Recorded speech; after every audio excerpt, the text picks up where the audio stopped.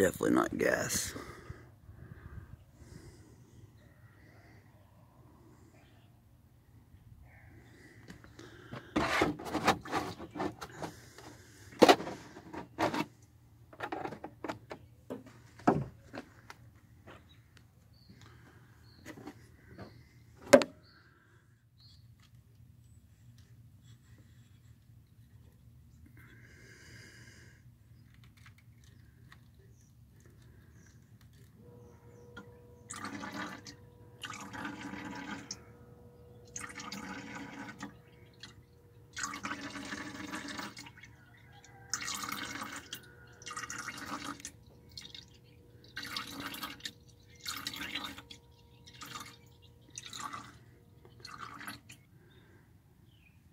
Yeah, somebody definitely got me.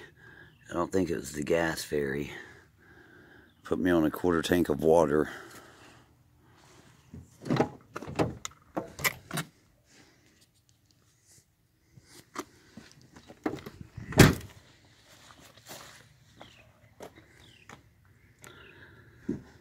This is how you cipher your tank without dropping it the fuel rail, cheap ass straw, a cheap ass jug, and a cheap ass wire. Or I could have paid 170 and had the local shop do it.